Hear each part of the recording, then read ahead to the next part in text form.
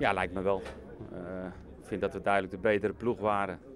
Wat we wilden is snel druk zetten op Utrecht, hun niet uh, laten opbouwen, niet laten voetballen. En ik denk dat dat uh, heel goed gelukt is.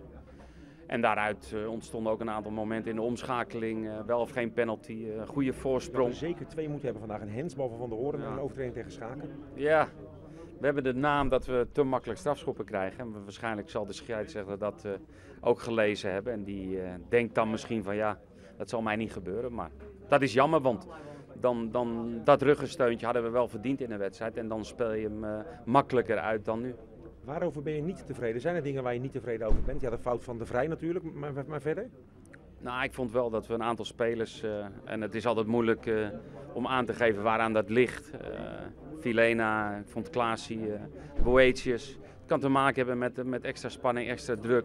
Kan te maken hebben met een Nederlands elftal oproep. Ja, er gebeurt heel veel en ik vond hun drieën met name wat minder vast dan ze gewoon zijn. En, uh, ja, en dat uiteindelijk merk je dat binnen het hele team. Want het zorgt er wel voor dat het weer spannend is. En tot de allerlaatste seconde. Dat blijft ook maar doorgaan elke week. Het is leuk, maar, maar ook niet leuk voor jou, kan ik me voorstellen. Nee, want we waren de betere en er waren genoeg momenten om, uh, om de twee goals verschil te maken. En, en, dan speel je een wedstrijd altijd makkelijker uit. Zeker met de power wat Utrecht heeft. En dan met name in de laatste fase. Maar ook dat uh, op een schot van Bulthuis na hebben ze daar uh, niets uit kunnen halen. Dus ja, als het iedere keer dan toch ook zo afloopt, dan, dan heb ik daar niet zoveel problemen mee. Pelle maakt zijn 21ste. Wat een geweldige goal, hè? Makkelijk. En alles wat makkelijk is, is vaak van hoog niveau, weten we. Ja, hij, hij zag goed het moment en hij werd aangespeeld. Hij, hij, hij, hij schiet niet, hij kapt hem af. Ja, hij schiet hem gewoon technisch gezien heel goed in de korte hoek. En ja, hij was wederom weer heel belangrijk dan gebeurt er waar, waar, waar we, zeg ik dan maar chauvinistisch, al wekenlang op wachten. Hij gaat een keer geel pakken en mist Heerenveen. Heb je altijd gezegd, immers is mijn stand-in. Dat gaat ook de oplossing zijn straks? Nou, dat, dat had ik gezegd op, uh, op basis van uh, met mijn wissels op de bank. Uh, had ik gezegd, dan is, als er wat met Pelle gebeurt, dan, dan is immers naar voren en een middenvelder erbij. Dit is een hele wedstrijd, het is vanaf het begin. En, dus ik wil andere opties niet uitsluiten.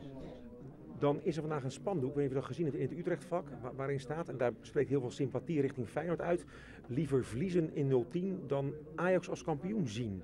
Merk jij iets van die sympathie? Heb je het gezien vandaag trouwens? Nee, ik, heb het, uh, ik hoorde het wel van tevoren al uh, van Jan Wouters dat het uh, zo was. En nou, dat is prettig, maar ik denk dat Utrecht alles heeft gedaan om, om ons niet te laten winnen vandaag. En, dus maar het is duidelijk dat er heel veel sympathie uh, richting Feyenoord is. En dat is leuk, want uh, daar doe je het ook voor.